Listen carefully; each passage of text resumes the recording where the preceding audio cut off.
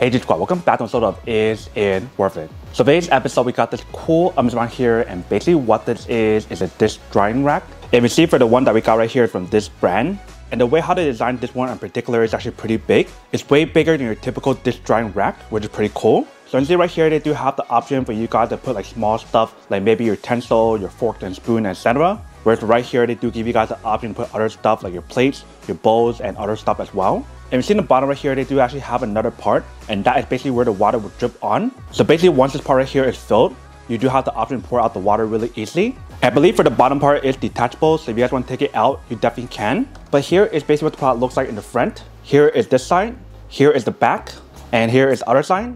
And then right here is the top, and right here is the bottom. So when you guys do purchase these dish drying racks, there's actually a lot of different options available. There's like a small one, there's like a medium one, there's like a large one, and the way how they design each one is slightly different. The material that's on this one is like a plastic material. Like I mentioned, this is one of the bigger size. I think this might be one of the biggest one that is available. And if this one is too big for you guys, you can definitely purchase a smaller one instead. But that is basically everything that's on the product. Let me show you guys what the product looks like once you guys do set it up because I already have another one all set up. But we've basically been using that for over like three years, four years, even maybe more than five years. And it lasted up for so long, so I do know the material that's on here is pretty high quality. But let's go show you guys what it actually looks like first, and it will come back and talk more about it in a second.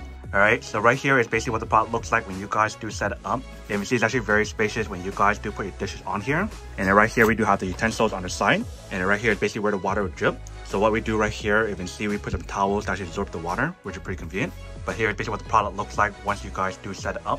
Welcome back guys. So now that I saw that video for the one that I've been using, you can see it actually looks pretty nice when you guys do actually use it.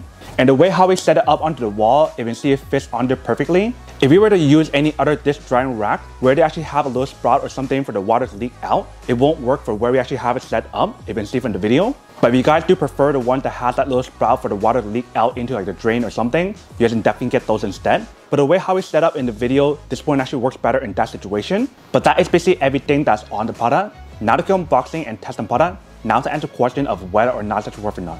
So for this product, I do have to say that it's pretty worth it if you guys want to need one of these, especially if you guys are in the market looking for a high quality dish drying rack, like the one that we got right here, then I do have to say that it's pretty worth it. But then obviously for those guys who don't want or don't want or happy want these, then obviously don't buy one and save your money for something else actually do need. So that's basically everything for this video itself. If you guys like this video, make sure to smash that like button in the bottom. That will definitely help this video out and it will definitely help with the algorithm as well to promote more videos for you guys so you guys can see more of the videos or similar videos as well. But as always, make sure to stay positive, be you, and I'll see you guys in the next episode of Is It Worth It? Peace.